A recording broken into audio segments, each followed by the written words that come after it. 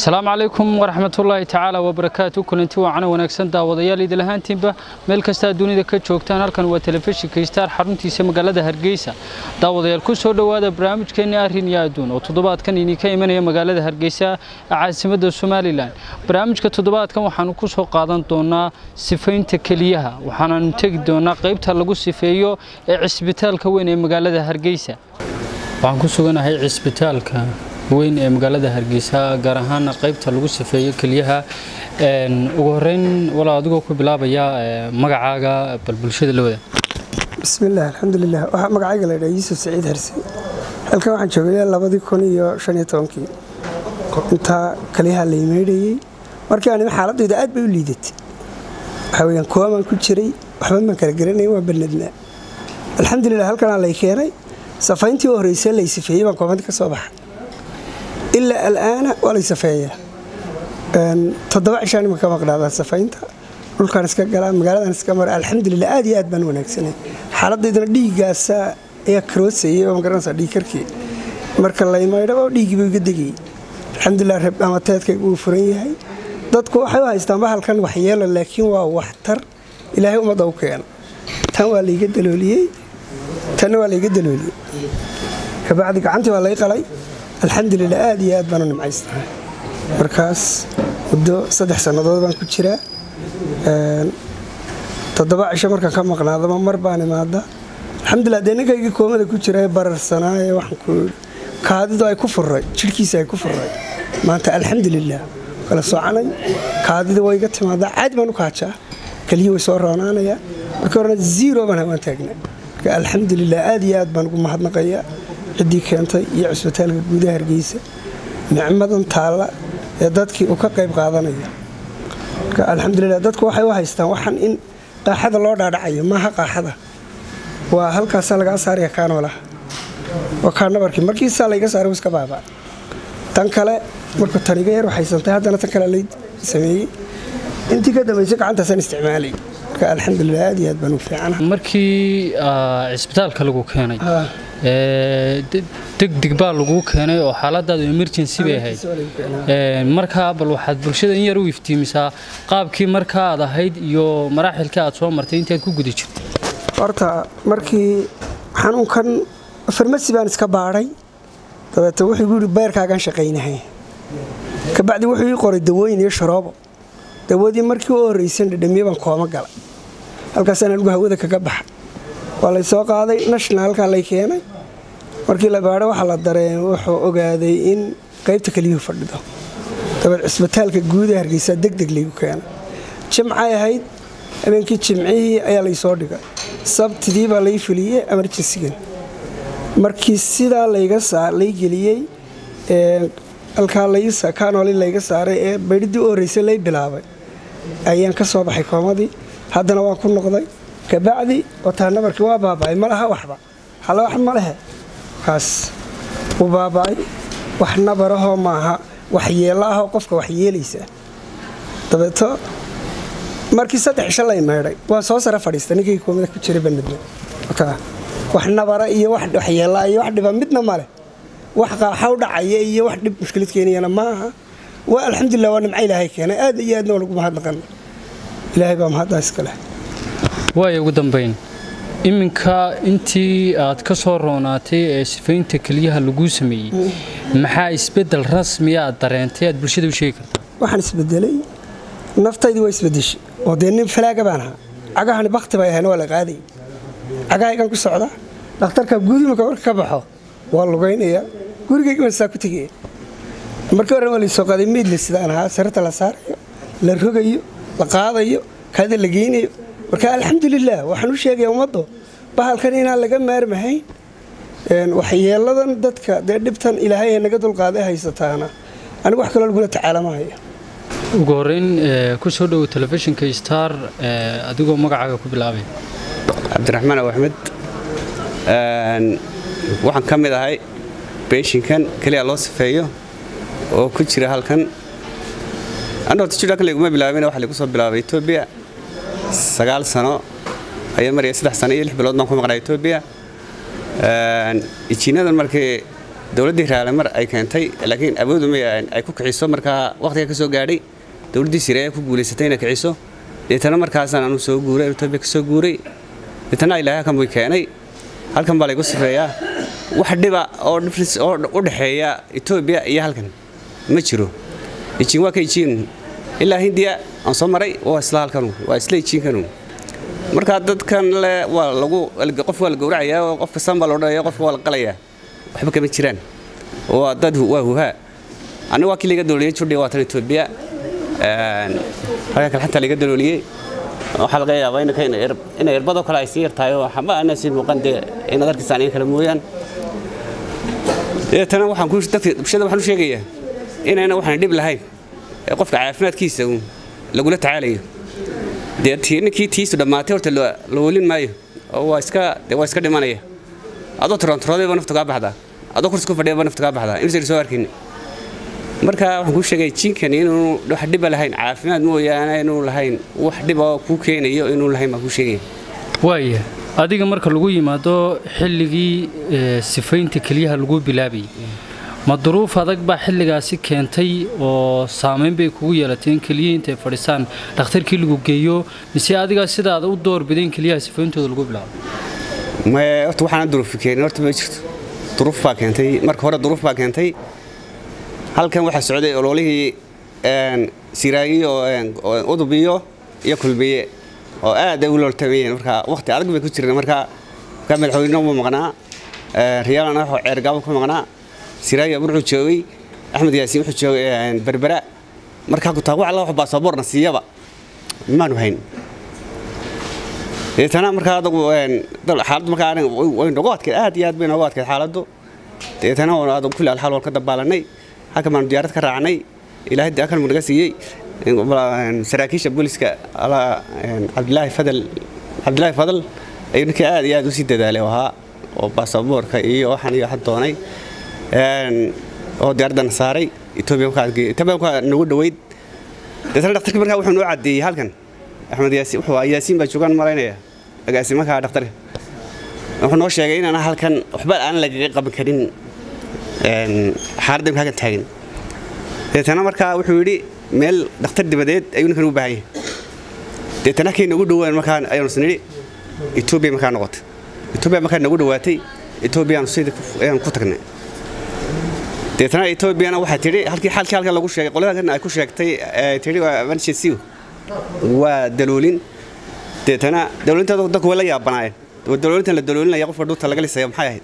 Dadku way isla yaabanaayeen deetana kulli alxaal dhakhtar beyti la idhaa oo etoobiya ku yaalla ayaa ayaa lagu dalooliyey. Markaan saddex cisha meelaha ayaan ayaan koomadi ka soo baxay. Firrix baan noqday. Waan iskaba socday gidaarka raac buu yidhi. Markuu laba jeri sifeeyey buu yidhi kaloo gidaarka gidaarkama raacay deetana waxaan kuu sheegayaa mid dhuunta laga lisay mid lugta laga lisaba. Wixii horta alla qoray way qoranta. Waxaan nin kastaba saacaddii ilaah ku talagal buu dhimanaya. Dadkana le waxan waa lagu dhintaa waa huhaayo oo sidan waa sidan dadka qof aan waxba ka ogeyn. Inbaa horta dadka bulshada kala kiciya. Oo waxbatashiir u sheega. Laakiin waxaan u sheegaya bulshada inaana keliyada haddii dee wada allo ku yimaado mooyaane keliyada sifaynteeda aan loo dhiman unbaan kuu sheegaya ugu dambayn marka laga hadlayo keliyaha ama ama nabarkan iminka aad sheegaysa ee dadku ama bulshadu ay ka qabaan inay ku dhimanayaan oo kale. Ee saamaynta ku yeeshay. Adigu maadaamaad soo aragtay maxaa xaqiiqi aad bulshada u sheegi xaqiiqada u sheegaya waxa weeyaan horta gobolkulbeed horta meel kaga dhuuman maysaan marka alla ku dilayo nin walba saacadiisu mu dhimanaya haddii lagu sifeeyo haddii aan lagu sifeynba inka dhiigga waa ka kayaacaya waa kaasoo gacantu ka socdaa jiinku tegayaa wuu soo noqonayaa waa mayris iyo balaas. Wasaqdiina wuu kaa saarayaa dhiigga nadiiftaana wuu kuu soo celinayaa. Markaa waxaan u sheegayaa dadka fikrad kala qaba.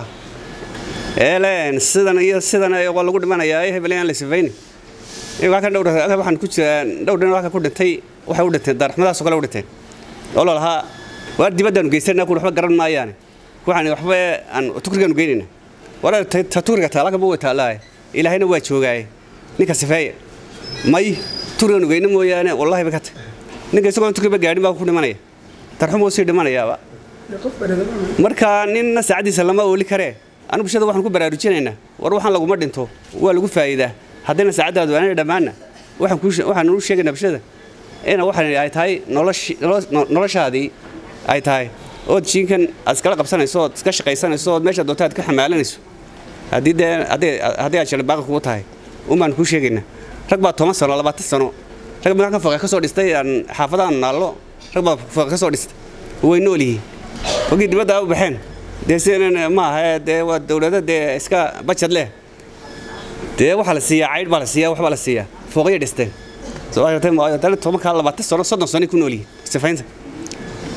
marka waxaanu leenahay bulshada war waxaan waxbaa ka shakiinaya dadkana moral xumaa ku ridinaya dee wada ayaanu leenahay geediga adiga macaamilkaaga marka sidaa lagu eego dee wax kaa maqaniba ma jirto muuqaalkaaga markay arkaan tusaale bulsho badan daawato bal ka waran macaamilkaaga gurigaaga maalinkii suuqaaga iyo shaqadaada iyo howlahaaga ma fadhiista haddaan kudhaa maad iga rubaysanaysa waayo dee ciyaal yarar baan ayaanu xamaashaa meeshaa doonaan maraa amba halkaan ka shaqaynaya waan tagaa haddii kala suuqaan galaa isbaba taaga ijiga markaa saa layga furo dee ilaaha dhulka ilaa baanu kacaa iyo alyoom waan magaalada iska galaa marka waxaan wax alla wax dhib ah anaga ila leedahayba ma jirta baan ayaan sheegaya alla wax dhib ay leedahay. Dheef mooyaane dhib bay leedahay? Ma jirta baan leedahay wareen ku soo dhow telefishinka star adoo magacaaga ku bilaabayaa goorma halkan lagu keenay. Magacaygu waxa weeye xamse siciid kaahin walaale waxaa la keenay bish halkan bisha afarteedii baa la keenay. Oo markii toddobaad ee lay la safeeyo. Ujeedada la safayntana marka hore waxaan ka qabay cudur.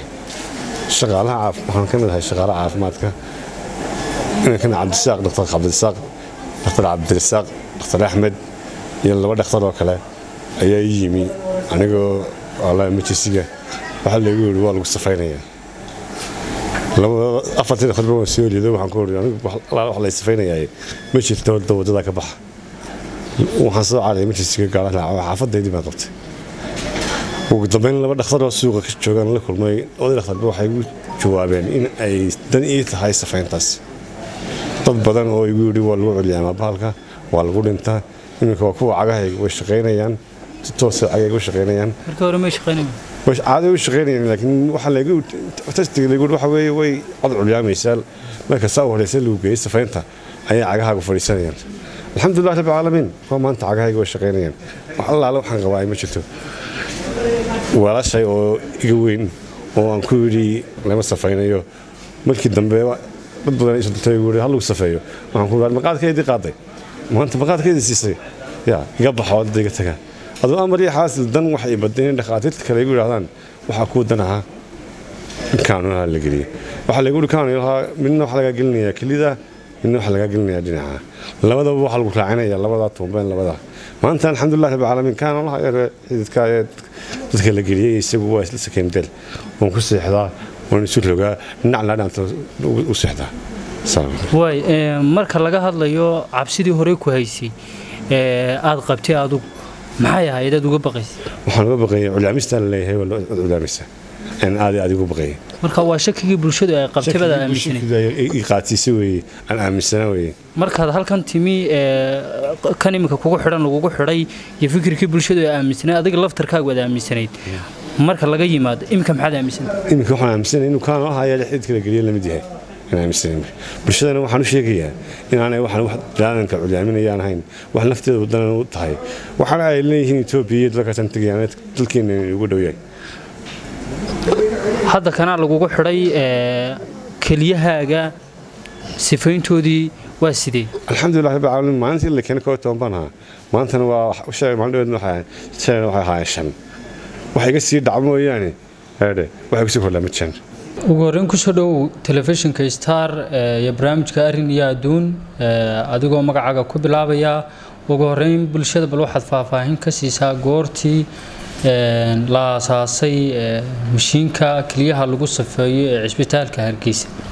Ah, Bismi illaahi raxmaan iraxiim alxamdu lilahi rabbi magacaaga axmed weli daahir xadi waxaanu waxaan rabay inaan runtii aan xogaa taariikh marka koowaad horta waxaan u mahad t v-ga star oo nagu soo booqday hargeysa group ee qeybta sifaynta keliyaha mahaddaa kabacdi waxaan runtii rabaa inaan xogaa idin sheego taariikhdii la asaasay waxaa jiray laba mashiin oo dowladda carabtu imaaraadka carabtu bisha cas ay siiyeen somalilan mashiinadaasi markaa muddo ayay iska yaaleen stoorka marka aniga oo ka nimid mataqaana wadanka finland oo halkan u nimid inaanu dhakhtarka hargeysa ka shaqeyno ayaa waxaan helay labada mashiin oo yaalla stoorka kadibna waxaan ogaaday labada mashiin baan tasikareeyey waxaan loo sheegay labada mashiin ma aan arkay inay shaqeynayaan. Waqtigaa marka waxaa joogay wasiirkii xuseen xoog ayaa wasiirka caafimaadka. Kadibna mataqaana doctor axmed askaro isaguna aan meel ka wada nimid waxbaan soo wada tashanay waxaa noo soo baxday inay suuragal tahay in labada mashiin lagu shaqeyn karo maadaama dadku berigii hore ay dibadda tegi jireen oo banaanka dadku ay dawo u raadsan jireen. Qofkii aan banaanka tegi karin uu ku dhiman jiray wadanka dhexdiisa. Marka alxamdulilah waxaa la isku waafaqay. Markii dambe in la dhiso gurigii gurigii baa la dhisay. Kadibna mataqaana training baanu ilaa toban qof u furnay. Trainingii baa mataqaana soo dhammaaday ilaa afar bilood lix bilood gudahood soo dhammaaday kadibna waxaa la dalbay sabalaagii mataqaana lagu shaqaynayay. Alxamdulilah nasiib wanaag labada kun iyo labayo tobankii shan iyo labaatankii bishii abril labada kun iyo labayo tobankii ayay ahayd markii ugu horeysay maalin taariikhiya oo qof loo sifeeyo keliyaha waqtigaasi oo soomaaliya inteeda kale oo dhan ama wadhan kulli isku odhan jira soomaaliya aan wax keliyaha lagu sifeeya ayna jirin marka laga reebo ka hargeysa muddadaasi marka waxay ahayd runtii dadku aad bay markiiba dib loogu yimid oo meelo kala duduwan baa laga yimid. Waxaa laga yimid mataqaana wadanka soomaaliya oo kale sida mataqaana kismaayo muqdisho dhinacan etoobiya dee wax kale oo seef laba mashiin oo keliyana waanu haynay marka waxaa kalifaysay habeen iyo maalinba waan shaqayn jirnay waqtigaasi labada waxna keenaya culayska iyo dadka iyo baahida loo qabo. Haddana waxaa soo noqday dadkii kale ee dibadaha joogay imaaraadka joogay ee meelaha ka soo ku cadibnaa sida indiya iyo meesha la malaysia iyo sacuudiga iyo etoobiya iyo dadkiina way soo noqdeen. Marka waxay noqotay overcrowd. Dadkii bukaankii baa ka batay. Arrintii markii la ogaaday in arrintii wax soconaya too shaqaynaya dowladdii iyo mataqaana waqtigaa jirteen way ku dhiiratay. Dad badan oo muxsiniina oo tijaarta wadanka somalilan ku jira oo loo tagay iyo kambeyn baanu qaadnay oo culimmadu ku jirto. Waxaanu lurinay lacag in meeshii la ballaariyo sabalaay badanna loo soo iibiyo meeshii waa la ballaariyey dowladdii inagoo isla kaashana dowladda iyo mataqana wasaaradda caafimaadka. Waxaa la gaarsiiyey mataqaana bildingkii baa aad loo ballaariyey oo intii ka ahaa lagu daray in ka badan afarteed taariikh ahaan marka saas ayay ku bilaabantay. Maanta bildingkii aad ayuu ballaaran yahay mashiinadii maalinta aanu haysanay. Maanta waxaanu haysanaa ilaa dhowr iyo toban mashiin ayaa qaar noo shaqeeyay laakiin ta hadda shaqeysa waa toban mashiin bukaanka hadda gala mataqaana halkaa berigii hore waxaa geli jiray lix qof ayaa geli jiray afar iyo labaatanka saacadood. Maanta hadda waxaa geli kara mataqaana ilaa soddon qofaa geli kara habeen iyo maalinta. Oo inta badan aroortiina waxaa gala shan ilaa lix iyo toban toddobiyo toban waxaa gala ilaa marka toban qof aroortii gala tobanna galabtiiba galaan haddana wax dheeraadi jir iyo habeenkii inta badan u soo noqono shaqaalihii inta way ka fiican yihiin dhakhaatiirtii iyo mataqaana dadkii howlcadeenada caafimaadka o dhan dad professional ahoo ayay noqdeen. Marka runtii aad iyo aad ayaan ugu faraxsanahay sida maanta u shaqaynayo qofna maanta uma dhiman karo mataqaanaa keliya xanuun oo maanta wax kale uu dhiman karaa laakiin keliya xanuun maanta uma dhiman karo. Ilaahay wax kale uu dhiman karaa. Taasaa runtii mataqaana faa'iido weyn annagana noo ah annaguna runtii somalilan waxyaalaha ay taaba gashay ka mida waxa kale oo ah oo wax lala yaaba ah bukaanada aan u shaqeyno dhan waxaan ugu mataqaana free of charge baan ugu shaqeynaa wax lacag laga qaadaa ma jiro. Iminka turkiga oo xamar ka furay iyo meelaha kale ee soomaaliya laga laga wax laga qaadaa lacag baa laga qaadaa laakiin somalilan xataa waddamada hore u maray oo aniga ka soo shaqeyn jiray sida waddamada yurub oo kale lacag baa laga qaadaa iyagoo yurub maraykanka lacag baa laga qaadaa. Laakiin ma jirto meel bilaash waddamada carabta alileh laga helaa oo iyagu lacag leh. Laakiin caalamka inta kale o dhan lacag baa laga qaadaa. Somalilan maanta waxay la koosatay marka waddamada aan qofka bukaanka waxba ka qaadin. Bili mataqaana qaar baa laba gala qaar baa saddex gala weygii qaar baa hal mar gala. Qofna waxba lagama qaado waayahay marka aad leedahay dadka keliyaha loo sifaynayo ee hawsha intaa leeg loo qabanayo lacag lagama qaado. Xaggee ayuuni ka soo galaa dhaqaalaha ayd ku shaqaynaysaan tusaalahaan dadka ugu shaqaynaysaan? Waa su'aal runtii fiican. Runtii waxaa muhiima dadkaas waxa labada ugu muhiimsan waxa weye dadka shaqaalaha cusbitaalka dowladda ayaa kafaalo qaaday waxaa kale oo nasiiba wasaaradda maaliyadda iyo wasaaradda caafimaadka iyo dowladda somalilan ayaa waxay bixisaa sabalayga qofkii waxa ku baxa maalintii marka layidhaa lacag ilaa ku toddoba ilaa dollara ku baxda qofkiiba markii loo sifeeyo.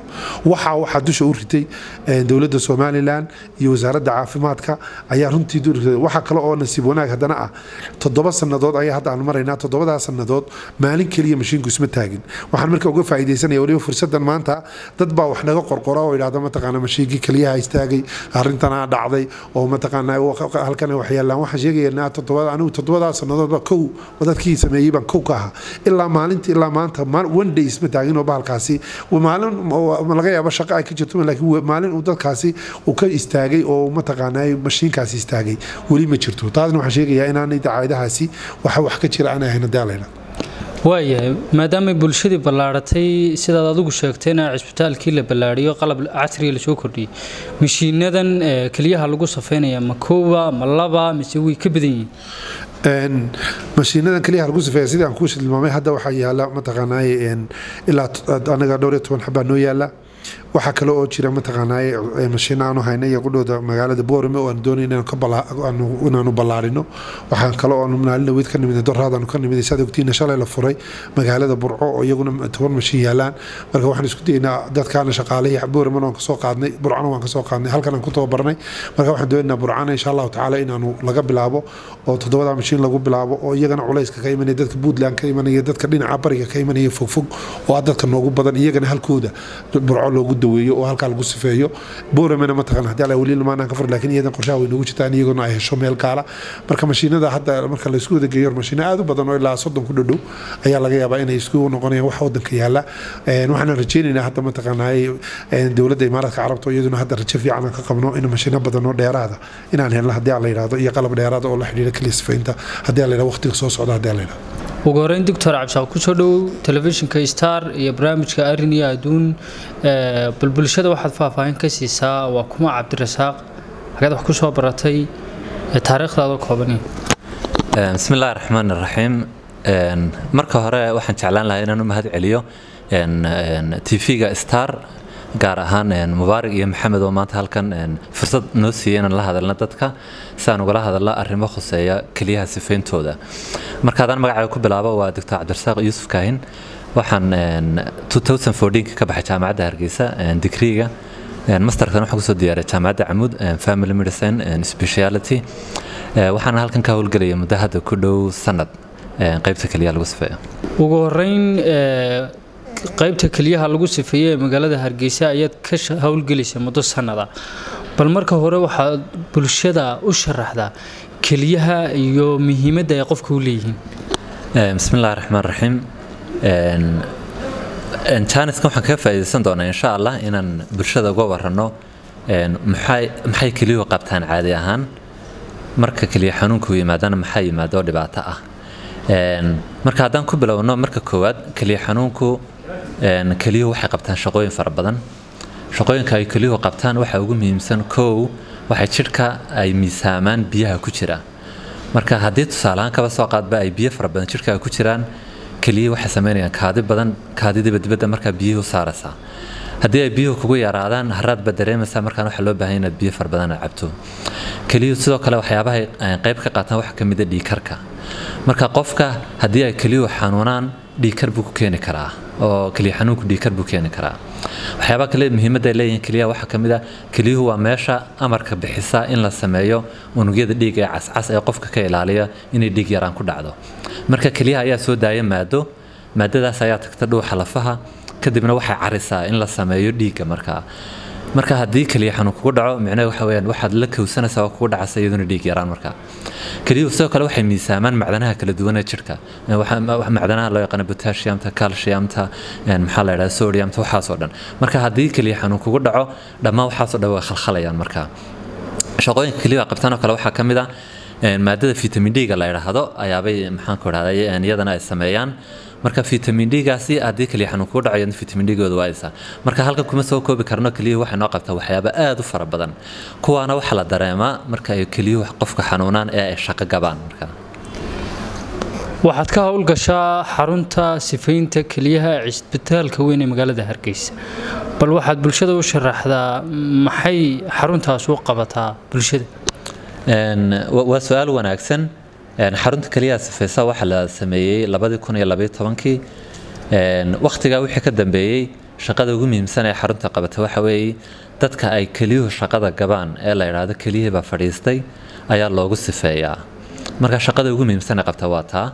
Shaqada labaad ee muhiimkeena waxa weeye dadka keliya xanuunka leh aseen weli gaadhin in loo sifeeyo ayaa lagu daryeelaa waxaa kaloo jirta qayb ka hortag ah oo dadka macaanka iyo dhiikarkii xanuunada keliya xanuunka keena leh ayaan ku daryeelnaa oo bukaan socod ahaan bay noogu yimaadaan. Marka shaqooyinkaasa ugu muhiimsanta ugu muhiimsanna waxa weeyaan qaybta keliyaha lagu sifeeya waxa ay nolol u tahay dad fara badan oo ay keliyuhu fadhiisteen oo aan awoodu lahayn inay dibadda tagaan oo keli cusub loo soo geliyo. Kuwaas oo ay nolol joogtaa u tahay. Kuwaasoo markaasi yimaada toddobaadkii ama laba cisho ama saddex cisho ama maalinba sida dadka qaarkood ay sameeyaan. Marka shaqada ugu muhiimsan waxa weeye in dad mashiinkan wuxuu qabtaa wixii ay keliyuhu qofku qaban lahaayeen. Inkastoona shaqooyinkooda buuxin karin. Laakiin waxa ugu badan ee dhibaatada ugu badan ee soo gaari lahayd buu ka badbaadiyaa. Tusaale ahaan bararka dhiikarka maxaan kula xunqaacada waxyaabo fara badan keliya xanuunka la xidhiidha waayo doctor toddobaadkii imise qofaa keliyaha loo sifeeya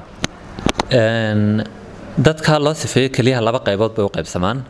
Dad waxaa jira muddo dheer keliya xanuunka maxaan ku dhahay qabay oo mashiinka ku jira muddo aada u dheer. Yacni lix sano toddoba sano siddeed sano ku jiray. Iyo dad cusub baa jira. Marka dadka hore ee loo sifeyn jiray yacni marka laysku celceliyo waxay gaadhayaan wiigii ilaa konton qof ayay gaadhayaan marka la isku celceliyo. Waxaase laakiin jirta intaa dhex socda qofkii si degdega keliyaha ay u xanuuneen ee keliyuhu fadhiisteen qofkii ama infection ama wax kale ku dhaceen ee keliyaha ay saameeyeen dumarkii maxaan ku uurka lahaa ee intii dhiikar uu ku dhacay dhiikarkii keliyaha ku dhacay marka dadkaasi iyagu isbedbedelaan marka laakiin sida rasmiga inta badan wiigiiba ilaa konton qof baa loo sifeeyaa. Marka sifaynta keliyaha laga hadlayo goorma sifaynta keliyaha la bilaabaa maxaase shuruud ku xidhan? Waa su'aal aada u wanaagsan oo ay tahay in cid walba ay ogaato kasoko bahda caafimaadka. Waxaa jirta keliyaha inay shaqo gabanayeen kale waxaa laga qaadaa qofka dhiigga ayaa laga qaadaa. Waxaa la eegaa qashinkii keliyuhu ay awal hore saari jireen heerka uu maraayo. Marka cabiro gaar ah ayaa jira oo la eego marka cabiradaa la eegayo haddii cabiradaasi ay gaadhaan heer laysla yaqaano yacni waa loo sifeeyaa waxaa kale oo go'aansada in qofka keliyaha loo sifeeyo calaamadihii keliya xanuunka haddii uu yeesho. Tusaale ahaan kaba soo qaadba haddii qashinka keliyuhu uu dhiigga ku farabato qofku wuxuu gaadhi karaa maskaxda. Kadibna qofku wuxuu ku keeni karaa inuu koomo galo ama uu gariir yeesho ama sidii calaamadihii qof waalan oo kale uu noqdo dawaqsan uu noqdo. Calaamadaha kale lagu garta keliya xanuunka waxaa ka mid a in qashinka faraha badan leh uu sambabka tago. Kadibna biyo sambabka ay galaan. Deetana qofka naqaska uu ku adkaado oxygen fara badan u baahdo. Calaamadaha kale waxaa ka mid a in jidhka oo dhan qofku wada bararo bararkaasi oo deetana marka la siiyo daawooyinka bararka ka ridayay ay ka dhici waayeen markaasi. Marka sifeynta waxaa lagu go'aansadaa kow calaamadihii keliya xanuunka oo qofka markaasi lagu arko oo qashinkii ku farabatay calaamadii ay soo saarayeen iyo sidoo kale in la eego tirooyinka sheegaya keliyuhu inta ay shaqaynayaan boqolkiiba mise shaqaynayaan markaa marka saa lagu garanaya kuwaas tusaaleaan qofkii uu ku garanaya. Marka tusaaleaan kaba soo qaadba haddii qofkii keliyihii shaqadii ay yareeyeen waa la xisaabiyaa. Marka waxaa la eegaa dhowr maado. Maadada la eego yani af soomaali ma laha laakiin waxaa la yidhahdaa kiratinin baa la yidhaha kiratinintu waxa weeye maado qashin ahaan jirku uu saaro marka keliyuhu si fiican u shaqaynayaan. Haddii keliyihii shaqadii ay yareeyaan maadadii kiratiniinta jirhkiiba ku ururaysaa. Marka shaybaadh ahaan qofka waxaa la rabaa inay ka yaraato one nacam tirada kow ka yaraato. Marka haddii tirada kow kor iga kacdo micnaheed waxa weyaan shaqadii keliya ayaa yaraaday. Marka haddii saa ku sii socoto oo toban ay gaadho dhowr iyo toban dadka qaarkood dhowr iyo labaatan bay gaadhaa marka wuxuu baahnaanaya in la sifeeyo. Ta kale xukumasaan waxa waa calaamadahan soo sheegnayo naqaskiiba qofka ku dhegay barar fara badan buu yeeshay. Maskaxdiiba waxa ku dhacay wuu wareeray ama koomuu galay ama gariir buu yeeshay. Kuwaasina iyaguna go'aanka waa lagu qaadan karaa. Marka maadooyinka dhiigga laga qaada qofka markaabaa la cabiraa intay marayaan isagaan intaa qofku aad sheegtay aan lahaynoo caadiyo caafimaad qabo sidiisa u baahan tusaale keliyiisa loo sifeeyo ma dhici kartaa marka mar walba haddii keliyuhu shaqada ay gabaan laba midun bay noqonaysaa. In markaaba calaamaduhu ay soo baxaan oo calaamadihii markiiba dibadda u baxaan ama meena in tijaabada laga qaado deetana dhiigga la eego deetana la arko qashinkiioo dhiiggiisa aada ugu farabatay. Marka labada gruub unbaa inta badan labada kooxood unbay noqonayaan dadka sifeynta markaa u baahanay waay doctor qof baa keliyihii loo sifeeyey oo mashiinkii keliyaha markii lagu sifeeyey wuu bogsaday. Ma ka maarmayaa markaa mashiinkii? Maxamed waa su'aal wanaagsan oo ah yacni in bulshadu ay fahanto keliya xanuunka miyaa laga bogsadaa mise lagama bogsado. Marka jawaabta su'aashaasi laba qaybood baan u kala qaadi doonaa. Waxyaabaha keliya xanuunka keena laba qaybood baa loo qaybiyaa. Xanuunada qaarkood waa xanuuno raagay oo qofka ragaadiyey waxaana tusaale fiican u ah dhiikarka iyo macaanka. Waa laba xanuunoo waaweyn oo qofka markay ku dhacaan kama bogsada ee wuu la noolaadaa marka haddii xanuunadaasi ay keliya xanuunka keeneen waxay sameeyaan dhismihii kelida ayay bedelaan iyagu oo structureka kelida ayay bedelaan marka mar haddii dhismihii kelida ay bedeleen micnaheedu waxa weeye kelidii way dhimatay way ku daysay markaa marka dadka dhiikarka iyo macaanka muddada soo lahaa ee keliyaha ay ka saameeyeen kuwaasi laba midunbaa u dawo ah kow in keli cusub loo bedelo oo keli cusub loo geliyo qofkii. Ama inuu mashiinka un markaasi maxaan ku kelida shaqadeeda uu qabto mashiinka un ku tiirsanaado. Marka kooxdaasi waxa weeye waa koox dadka ka mida oo dhaawac weyn keliyihii soo gaadhay. Marka ama dhiikar baa soo gaadhsiiyey ama macaan baa soo gaadhsiiyey ama xanuuno kaloo kala duwan baa soo gaadhsiiyey ama dawooyin uu qaatay baa keliyihii ka dila markaa. Kooxda labaad waxa weeye waxyaabo kelida ku dhaca si kumeelgaadha u dhaawaca kadibna ay kelidu ay ka bogsan karto marka sifaynta qoladaas waxay u soconaysaa un muddadaa ay kelidu soo kabanaysa markaasi marka muddadaa kooban marka tusaalayaal fiican baa jira waxaana tusaalaha ka mida kow haddii qof shuban ku dhaco ama uu ku dhaco matag uu ku dhaco wuu fouqbaxayaa marka uu fouqbaxo kelidii shaqadii way yaraynaysaa. Marka qofka haddii loo sifeeyo muddada ay kelidu sideedii ay ku soo noqonayso ayuunbuu mashiinku ka caawinayaa kadibna wuu ka maarmayaa. Koox labaad baa iyaguna jira dumarka uurka leh ee dhiikarka uurka la xidhiidha uu ku dhaco waxa afka qalaad la yidhahdo briclamshia iyo eclamshia dadkaasina dhiikarka ayaa keliyaha dhaawac soo gaadhsiiya laakiin dhaawacaasi waa mid kumeel gaadha iyagana waxaa loo sifeeya muddada markaasi ay ku bogsanayaan. Marka labadaa tusaale degdega uu ku dhacay oo kumeel gaadha oo aan dhaawac weyn aan gaadhsiin kelida muddo kooban baa loo sifeeyaa. Waxay noqon kartaa saddex cisho shan cisho toddoba cisho ayay noqon kartaa. Kadibna marka dadka waa laga saaraa qalabka loogu sifeynayo deetana guryahooga ayaa iska tagaan marka. Waayahay imise sano ayaa qofka keliyuhu fadhiisteen? Mashiinkaas ahaynaya taas waxay ku xidhan tahay mar walba qofkaasi haddii loo helo hadduu dhaqaalo uu awoodo oo kelida loo soo bedelo kelidaa cusub buu ku shaqayn doonaa laakiin haddii keliyihiisu ay shaqo gabeen haba yaraatee mashiinkana uu galo noloshiisa inta ka hadha mashiinka unba markaasi la joogaya marka. Marka dad fara badan baa jira oo tusaale loo soo qaadan karo oo qaybtaydan jooga oo lix sano toddoba sano ku tiirsan marka inta ajashooda ay maqan tahay mashiinka unbay markaa ku tiirsanaanayaan. Goobtan intii aad ka shaqaynaysay maxaad caqabad kala kulantay bulshada ku imanaysa?